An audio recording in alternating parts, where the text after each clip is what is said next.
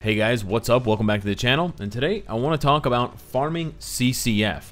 And as sexy as it sounds to say, I have a surefire, guaranteed method for you to get more CCF.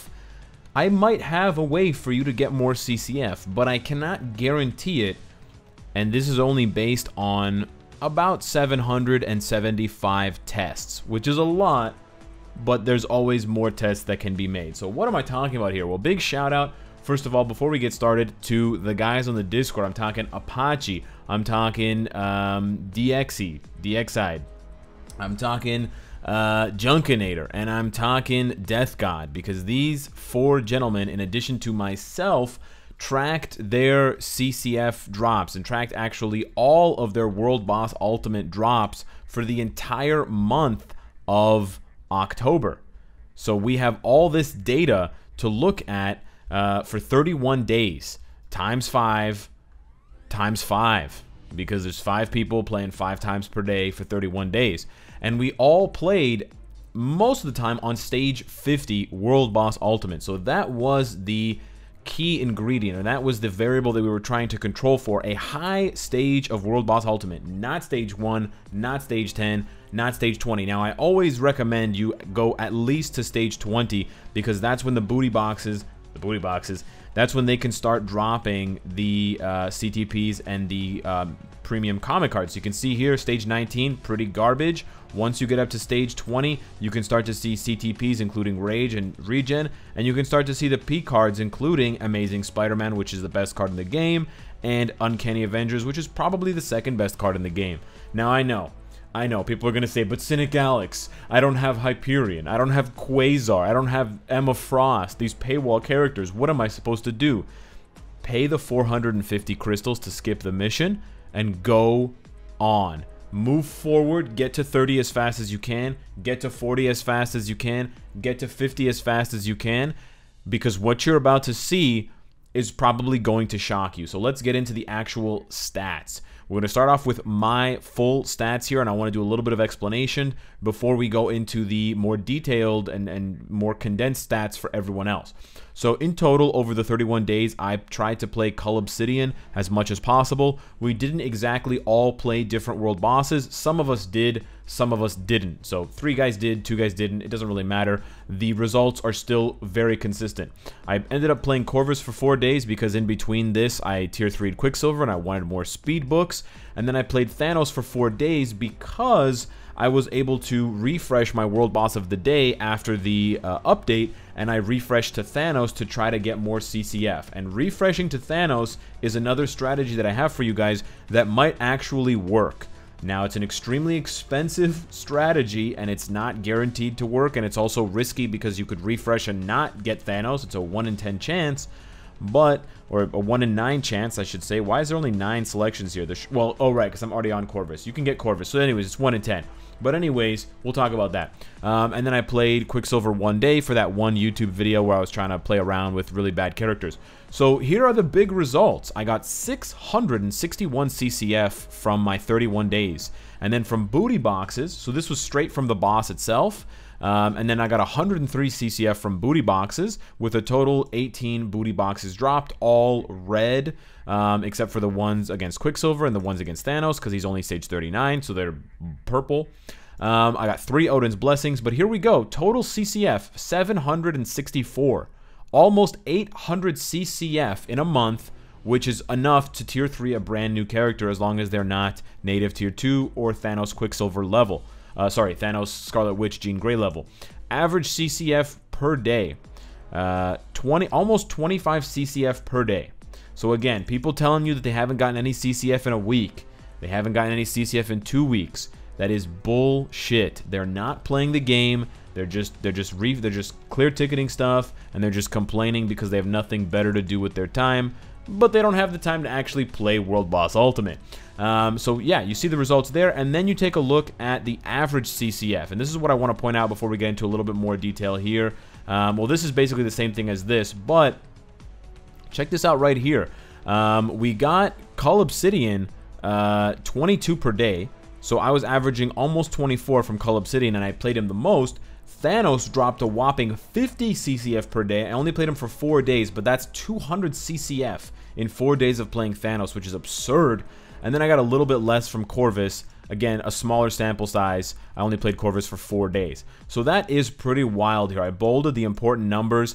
Now that you understand what we're looking at, and you can see here, my CCF chance from booty boxes was actually quite high, 16%. It's a lot lower for most players and for most of the other results. I would say your chance to get CCF from a booty box is a lot closer to like 10%. The thing is, the higher you go in World Boss Ultimate, the more CCF you'll get from a booty box. So on average, each booty box that I opened was giving me like 40 CCF. That's a lot of extra CCF, and if I'm getting almost 20 booty boxes a month, that's almost an extra 80 CCF, because two of the boxes on average will have CCF in them. It's about a 10% chance, as you'll see. Some guys are lower than 10%, some guys are higher. Um, and that's almost 100 extra CCF just from playing stage 50 versus playing stage 20. Now let's check out the next uh, group of stats here. We have uh, Diexai, uh. I'm probably screwing up his name. Apologies. Um, and yeah, similar stats again. He played Proxima for the majority of the month, 25 days. Um, we don't know how many of those days was the world boss of the day, but I imagine it's not going to be disproportionately that much. We can see here almost 800 CCF, more CCF than the Netmarble CEO. More than 25 CCF on average per day, same number of booty boxes, much lower CCF chance. But you can see here, over 20 CCF per day from Proxima, um, and then higher for Corvus and even higher for Cull Obsidian, but it's only one day, so it's definitely skewed. Moving on to the next bit of stats here, we have Apache. He did a, pretty much a smorgasbord. He did, he did mostly Corvus, but it's less than the full month. He did a full week of Cull Obsidian, almost a full week of Ebony. He was kind of all over the place. I think he was focusing on playing his world boss of the day as often as possible when it landed on one of these five. He ended up getting just under, he got about 667 CCF. Again, over 20 CCF per day, which stays consistent with what we were getting. Again, 18 booty boxes, extremely consistent with the other results over the month. He got zero CCF from booty boxes, which is pretty, pretty, pretty sad. But then look at this, 43 CCF in one day of Thanos. That's extremely high. Under 20 from Corvus. Uh, but again, it's only 13 days, so that might be why it's skewed a little bit down. And then Proxima and Ebony are skewed a little bit up. We move on to number four, Junkinator. Again, we see a lot of sort of days in between, but for the most part, he focused on Thanos as, as world boss of the day, and he got almost 800 CCF. I think he got the most out of the group, 787, over 25 CCF per day. Um, he had a similar CCF chance as I did. Again, almost the exact same number of booty boxes. So it's very, very consistent for five different players to get the same number of booty boxes. And when you calculate how much, you know, CCF you get from those boxes and what the chances are, that adds, I would say, it adds about 50 to 100 extra CCF per month, pretty much guaranteed. So that is general, genuinely a reason to play higher stages. I'm talking 40, I'm talking 50. Um, and you can see here Thanos over 22, Corvus over 30. Um, and then the other ones pretty much in line with what you expect. Last but not least, we have Death God here, focused most of his days on Ebony, although not uh, as many as some of the other guys here.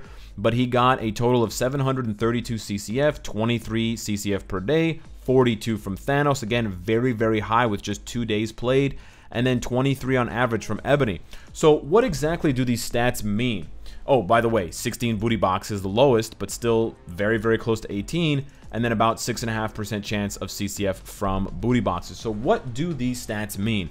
Well, I think they mean that, you know, not only are you going to get CCF, you're gonna you know you're gonna get at least five, six, seven hundred CCF uh, per month just from playing World Boss Ultimate every single day. Uh, but specifically, I think that the biggest thing to take away from this is two things. One, if you have Thanos as your World Boss of the day, even if you specifically need drops like books or Odin's Blessings from other World Bosses, I would recommend playing Thanos. I know Thanos is the hardest world boss of the day, but all of these stats come from players who are playing under stage 39.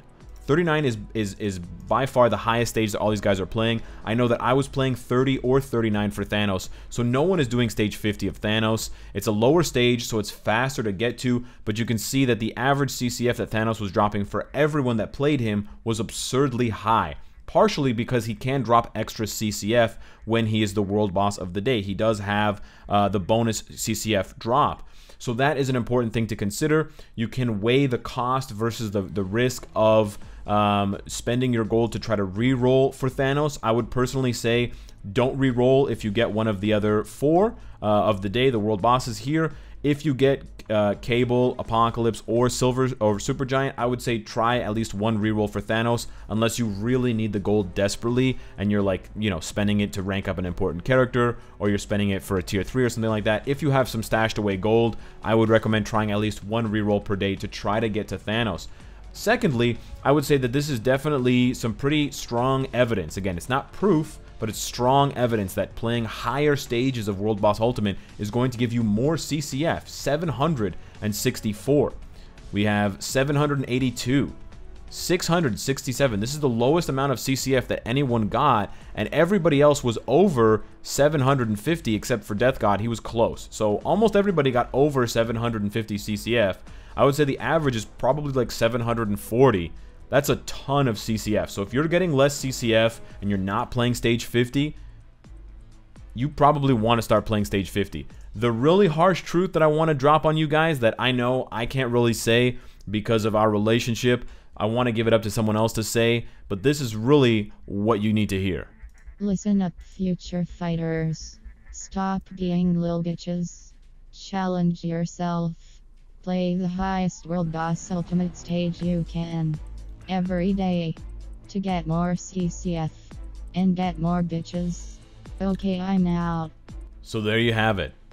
In my honest opinion, looking at the stats, looking at almost, you know, over 750 World Boss Ultimate clears uh, over the month of October, and I would love to do this again for November or December. Um, it's pretty strong evidence for me. Playing higher stages of World Boss Ultimate is going to net you more CCF. So hopefully you guys can take that to heart. Uh, start practicing, start getting those runs in. If you need advice, I have links and I'll put them up in the cards now for uh, the World Boss Ultimate stage requirements that you need, the certain characters that you need. You know, you need Kamala Khan, you need Hyperion, you need Iron Man, you need Star Lord, etc. to get through the challenges at stage 10, at stage 20, at stage 30, at stage 40, at stage 49 for 50. Push ahead get the bag, secure the bag, get that CCF so that you can be tier 3 in characters left and right uh, and you're not left behind. Let me know what you guys think of the stats and of the data in the comments down below. Thank you so much for watching. Hit the like button if you enjoyed the video and I will see you in the next one. Take care.